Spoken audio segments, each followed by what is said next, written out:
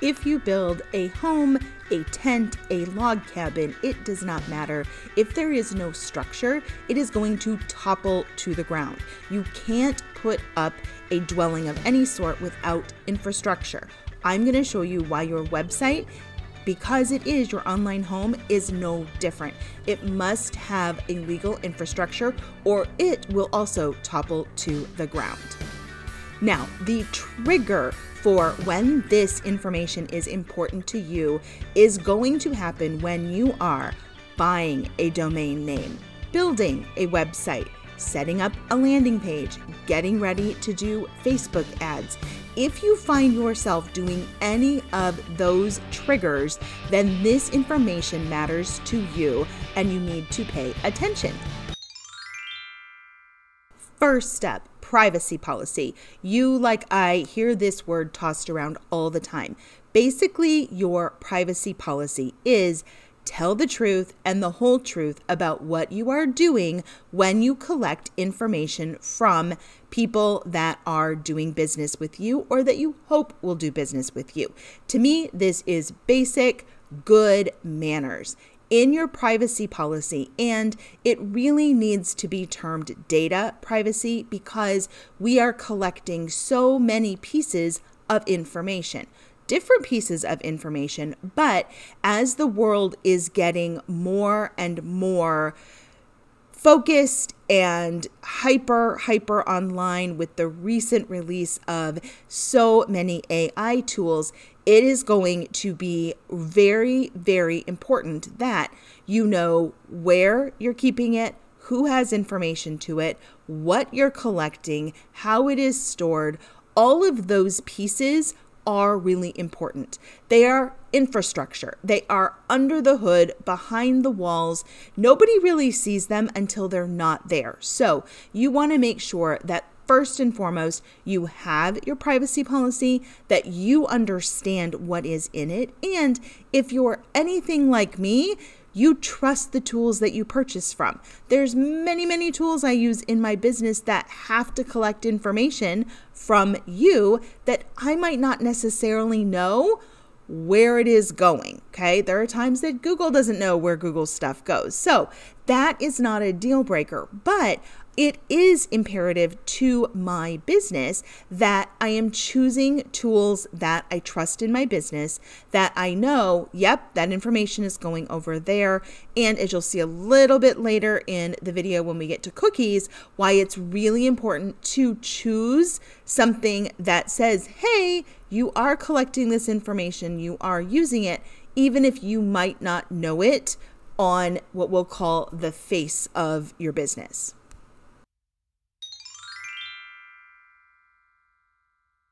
Now, the terms for your website, this is what I like to call the playground rules. They are coming into our websites, our opt in pages.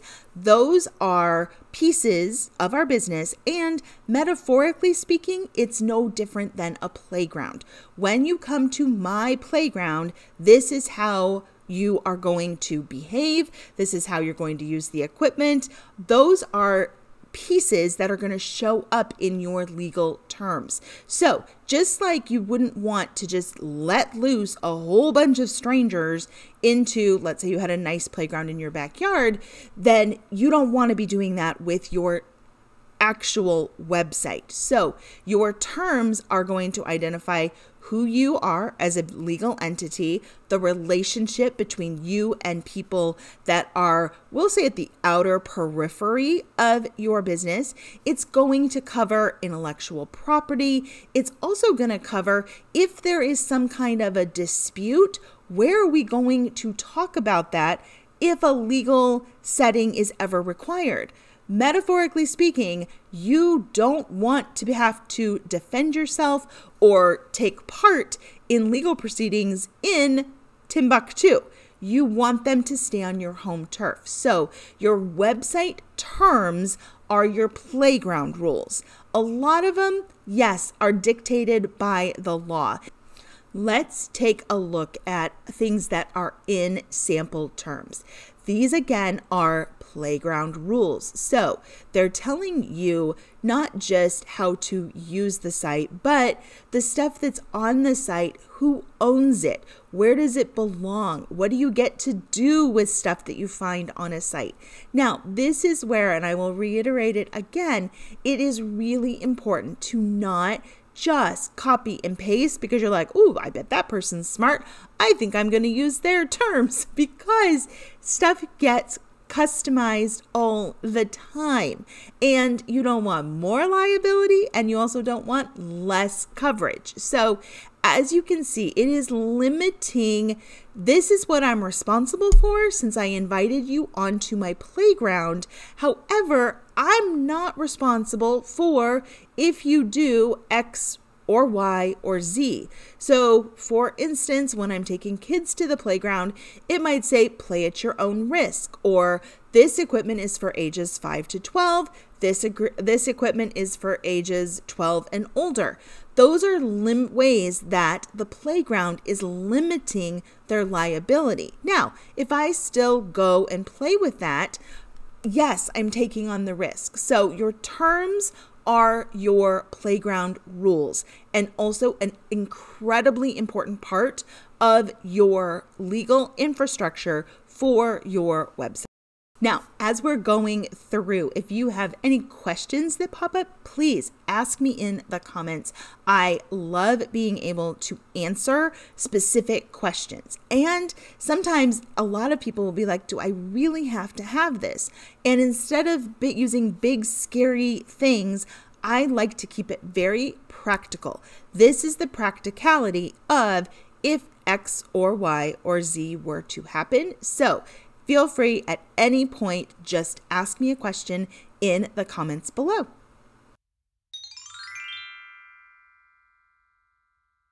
Okay, we're going to dive into the next two parts of your legal infrastructure for your website, and that is disclaimers and disclosures. So, I want to make sure that it is very clear they sound similar, they live together very often, but they do serve two different parts as they are supporting the website and providing infrastructure. So, a legal disclaimer is like a warning that tells people that you're not responsible if something goes wrong when they use your website.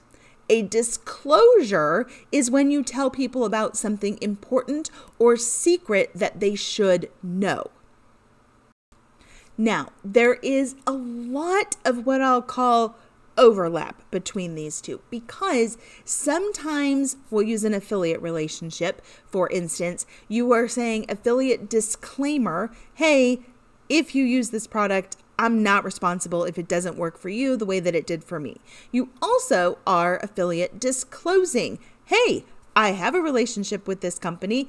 If you decide to try out their product, then yes, they'll probably send me some kind of a thank you gift. Doesn't cost you any extra. So it's one that online business owners are very familiar with, but we often are like, well, it's kind of over here and it's kind of over there. It's okay to put it in both spots. It absolutely is. You're not going to get in trouble for being like, oh, whoops, it was supposed to be a disclosure and I dumped it into disclaimers, or vice versa. Time for cookies. No, not that kind of cookie, which I know is the most easily referenced illustration, graphic, whatever whatever you have it, when it comes to talking about cookies on your website. Now, cookies are breadcrumbs. They are little snippets, little pixels that say, hey, you were here. Now, I am not a techie, so I'm going to give you my real person living and dwelling in online business world cookies just sometimes make my life easier sometimes allow me to track different things that i wouldn't otherwise be able to. I know cookies do a million different things. So for all of you tech people i'm thrilled that you understand it. For the running of my business so that i don't collapse my infrastructure i have to have a cookie policy and I have to tell people what cookies it is that I'm using. Now, this is where I had no idea the amount of cookies that were on my website until I started using a tool called CookieBot. Now, there are other tools that are out there, and I'm going to dive in. I'm going to show you why I switched to this kind of tool and why you might want to think about doing so for your own website and your own business. So before I was using the tool that I use, which is called CookieBot, I was like, oh, I use Google Analytics. I have the Facebook pixel turned on. And I was like, I'm not really tracking anything else. Well, unbeknownst to me, and this is the cookie policy that's on my website, you can go check it out anytime you want. This is all of the cookies that show up on my site based on using Kajabi, using Video Ask, using um, Elfsight widget plugins. Like some of my tools, I didn't realize, oh my goodness, look at all the different cookies that are on my website. Now, this I could never, never in a gazillion years could I keep up with. We're still scrolling, by the way, all the cookies that are on my site because all those tools that we all use, they're always making updates, they're always working in their businesses. Most of them have very large teams of thousands of people, we're going to miss it. So, this is why you have to tell people what you're doing. And unless you want to be in the business of like keeping track of all this stuff, like there's no way, uh uh-uh, uh wouldn't want to do it. That is the cookie policy. So you have to have a cookie policy and you have to tell people what cookies are on the site. I could never begin to. Now, there's also quite a robust discussion um, in terms of, well, if I use a tool like CookieBot, my site looks ugly. We're not talking about ugly sites, we're talking about the law. There are times that stuff will be ugly. Guess what? It's ugly for a reason. It needs to stand out. So, legal, I've said in other videos, if you've been in my world, you've, you've heard me say this. Legal is very often cleanup crew. It is the coming around and cleaning up the mess that was inadvertently made by business because business moves lightning fast. Absolutely lightning fast. The law is a little bit slower. It's usually coming behind cleaning up those unintended consequences. So, if you are like, "Yeah, I just don't want it. I don't want to do that right now." Okay, you've heard it. You know where the information is when you decide to take action. Yes, it's required by law. However, I get that some of you just want the really pretty cookie notifications. Um, I might, I'm not going to agree with you on that point because there are ripplings in the underworld. And for those of you that have been around long enough, you know that there were some really schmarmy practices with letting people download images for their blogs. And this would have been 2011 to 13 ish. And then about six months later, you started getting these demand letters for $25,000 for the unauthorized use of that photo. $50,000 for the unauthorized use of those photos. Not naming what was going on, but for those of you that have been around, you know exactly what I'm talking about. Now, there is kind of an undercurrent going along the interwebs with cookies in terms of I, if I'm an un, I'm going to call it unethical because I think it is very schmarmy. I pop into a Facebook group. I work for whatever kind of company you want to make this. I pop in and I just start looking at all the people in the Facebook group. I pop over to their website and I look, do they have what's required by law? And what's required by law is see these different classifications unclassified, um, marketing necessary. What are the other? They marketing is 32, um, statistics, preferences, and necessary. So The necessary ones, my site won't run if you don't accept the necessary cookies. So that categorization is what is required by law. I'm actually, I will make a whole separate video going into the nuances, but I think it's really important while I have your attention to say, I can go into a group I can pull up your website. Yep, you're not you're not doing what the law says. I can write a very scary letter to be on the receiving end of. When you get that letter, you panic. You're like, "Oh my gosh, oh my gosh, I got to do it. I got to do it. Oh my gosh, they're going to they're going to take everything away. I'm like I screwed it all up." And a lot of you will send them money because you believe them because you are an ethical person who would never dream of doing that to people. Trust me, it happens all the time. Drives me insane when it happens, but it happens. So, to me, this is a very, very, very, very cheap insurance policy that one gets the task off my to do list because it is done.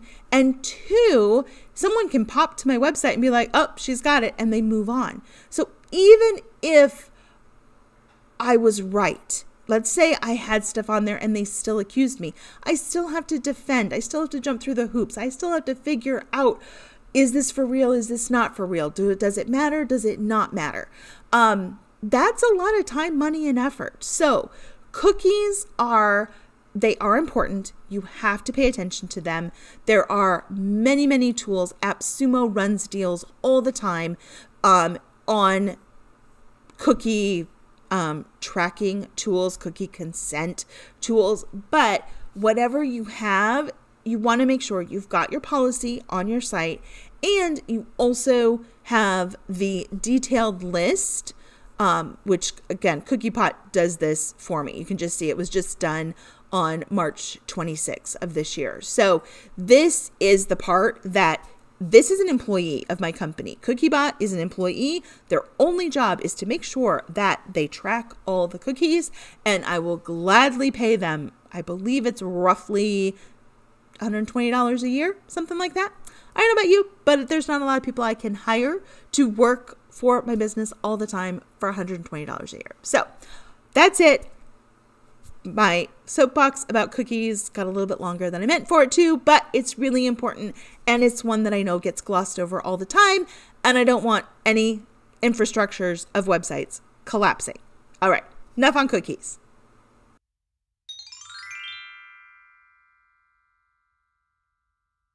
Now I'm going to walk you through the Digital Millennium Copyright Act notice, or abbreviated very often as DMCA. Now, this is far more relevant and important if you have other people posting content onto anything that is part of your website landing pages, blog articles, videos, snippets of videos, whatever the case may be, you are now mixing other people's copyright because that's what governs our ideas, the content by and large. I'm giving very general descriptions, so um, we're painting in broad strokes. But if I take someone else's blog article and I put it on my site, how do I know that that person wrote that article? It's not plagiarized. It's not stolen. It's not, um, you know, committing defamation. It's not libel. All of those issues will bubble up when I let other people come in. Now, the Copyright Notice Act, this one, this basically gives you a safe harbor in terms of if for instance, someone stole one of my videos, claimed it as their own, and gave it to another website owner. I would be like, hmm, I'm going to go to their website. I'm going to see if they have a DMCA notice, which tells me exactly where to, here it is right here, notice of the claim. I'm claiming that content is mine. This is what I need to do, what I need to provide, and also where I need to send it. So the DMCA handles that part, and it also lets you know if you're sending this to me, what can you expect? So, the DMCA notice is so that someone can say, hey, that's my stuff. You need to get it off your site. And again, definitely, definitely comes into play if you have a robust guest um, contributor portion of your business model of your website because and this was far more prevalent from like 2012 to 2015 in my own experience where people wanted to be featured as a guest blogger and so they were stealing content. Now we've got all of the AI tools, people have expanded onto different avenues, but the legal requirement of the DMCA notice is still here, it is still valid, and this is what it does and the role that it plays in your legal infrastructure on your own website.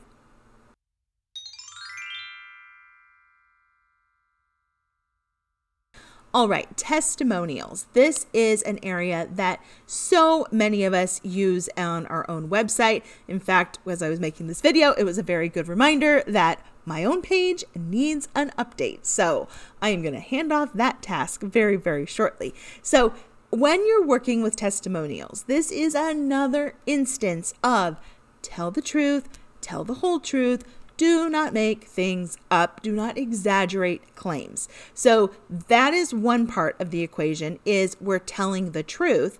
The second part is making sure that you have permission from the people whose testimonial you are using for various reasons that can are far far outside the scope of using a testimonial, there are real situations where people do not want their name blasted all over your site or their picture or their company name or their lo- um their logo, their um, location, their words. There could be a variety of reasons. So, when you're using testimonials, make sure that you have obtained consent to use that testimonial. Now, this can be as simple as I could shoot, you know, someone posted something great about me in, let's say, the official Kajabi user group. And I'm like, oh my gosh, that is amazing. Can I use that? One, I don't own the official Kajabi user group. Two, they posted it in a private community. And three, I would want someone to ask my permission before they start grabbing screenshots and throwing them all over the place. So, a quick email, a quick DM can serve as consent. Hey, you posted this. Do I have your permission to now post it on my website? To now load it into my social media um, SmarterQueue? Do I have permission to use it and you can outline the reasons. Um, it does not have to be specific. It can also be something very formal or more formal esque in terms of they've finished your course, they've gone through part of your membership, and you're having them complete, let's say it's a Google form, it's embedded, and you're they're answering questions in terms of their feedback. Part of that can be turned into a testimonial. So, testimonials, two parts Tell the truth, the whole truth. Do not exaggerate the truth. And the second part, make sure you have permission. Now, I know the questions are going to pop up. They always do. What if it's in my group? What if it's on, you know, my forum? What if it's over? I cover all of that when we're talking about purchase terms and how important those are. So, preview to coming attractions you can get permission at the outset from within your company. So, within my realm, when anyone buys anything from me, there is part of the purchase terms that they agree to before they buy that says, I can use your name, I can use your likeness, I can use your words. Now, I like to treat people the way that I appreciate being treated, and so I ask for permission but technically, my purchase terms have covered the legal portion and the legal infrastructure piece. All right, now this is going to be a very broad stroke governing ADA compliance, which stands for Americans with Disabilities Act. Now, this is becoming more and more a forefront issue because it has to do with accessibility. And just like we wouldn't want to build this amazing retail location with beautiful interiors and incredible products and all of this amazing stuff and put a staircase of really steep stairs, you know, 20 feet up into the air with like no handrails, it would be really inaccessible for a lot of people. So, accessibility has to do with so many features. Again, not we're painting in broad strokes here, but when you are running your website, and this is an area I am working on my own as we speak, little bite sized chunk by bite sized chunk by bite sized chunk.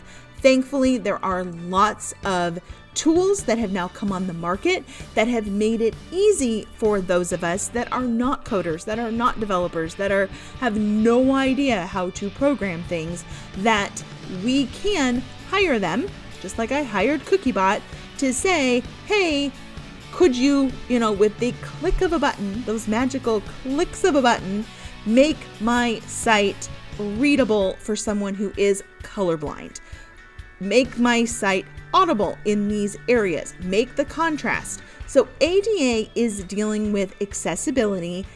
It is important. It is very um, much getting lots of legal attention. There are firms that are now devoting entire departments to dealing with ADA compliance, both in terms of suing people for it and also defending people for it. So, make sure that ADA compliance is on your radar. I will be doing a few videos on this topic coming up. So if you want to make sure that you're on the inside of my world, you can scan the code for this video, which will unlock checklists, bonus material, the whole nine yards. But you'll also be notified hey, I'm talking about ADA compliance. This is what I'm going into, um, which you can do by simply subscribing to my channel. So, thank you. Enjoy your day. I will see you on the next video.